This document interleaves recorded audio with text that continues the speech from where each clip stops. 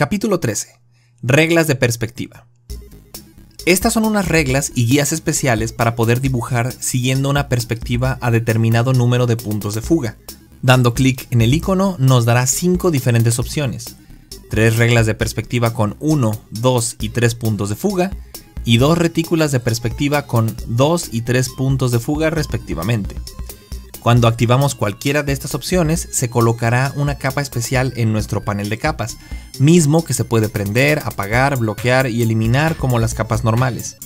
Se visualizarán por encima de todas las demás, independientemente del acomodo.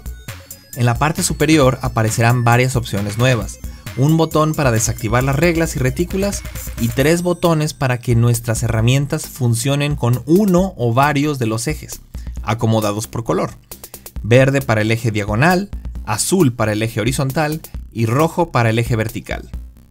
Presionando los botones podemos activar y desactivar los ejes. Y si damos clic derecho encima de uno, desactivará los otros dos. Mientras estas reglas y retículas estén activas, nuestras herramientas seguirán la forma que marquen, lo cual nos puede ayudar a dibujar determinado por perspectivas geométricas. Podemos mover las reglas o cambiar la posición de los ejes presionando el botón de control o girarlos si presionamos alt. Las retículas nos brindan varias opciones adicionales. Si damos doble clic sobre ella podemos modificar el número de divisiones, además de cambiar la ubicación tridimensional de la retícula presionando alt en ciertos vértices. Además de brindarnos una opción adicional en la parte superior para determinar qué tanto siguen nuestras herramientas a la retícula. None produce que nuestra herramienta no se limite en ningún punto. Line hará que nuestro trazo se limite a pasar exclusivamente sobre las líneas de la retícula.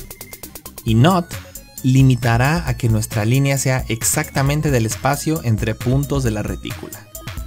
Este video es parte de un curso completo para aprender Easy Paint Tools 2. Si no quieres perderte ningún video, suscríbete y activa la campanita, van a salir lecciones todos los días. Puedes ver la lección anterior y la lección siguiente dando clic en los links de abajo. También puedes dar clic en el link de arriba a la izquierda para ver todas las lecciones en orden.